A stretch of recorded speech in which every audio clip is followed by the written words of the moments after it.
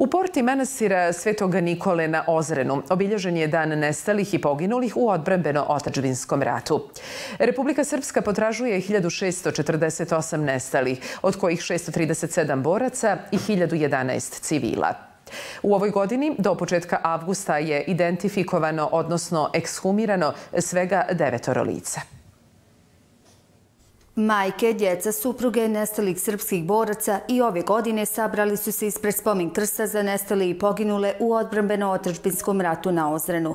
To je, kažu, trenutno jedino mjesto na kojim svojim najmiliji mogu da odaju počast, jer 30 godina tragaju za njihovim posmrtnim ostacima. Zoran Rauković iz Jelenske kod stanara za ocem Nedeljkom, koji je nestao na vozu, traga tragao 95. godine. Išli smo mi par puta u Vanja Luku na prepoznjavanje, ali nismo ga mogli prepoznati znat nikako. Prošlo vidiš od 95.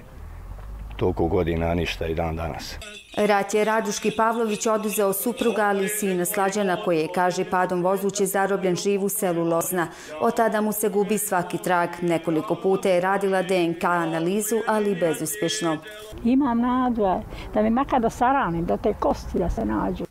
Institut za traženje nestalih BiH je u ovoj godini do početka avgusta identifikovao, odnosno je skumirao samo devetoro lica. Zbog toga i Srpske traži da taj institut bude ukinut ili vraćen na entitetski nivo. Moram da kažem da 2021. godini 21. godini da je ekshumirano samo jedno tijelo srpske nacionalnosti. A pitali smo se eh, 11. jula otkud 50 tijela bošničkih nacionalnosti da se sahrani u ovaj, u potrčarima. Ako uzmemo u obzir činjenicu da Republika Srpska potražuje 1648, matematika kaže da ovom dinamikom je potrebno 183 godine da bi se ovo završilo.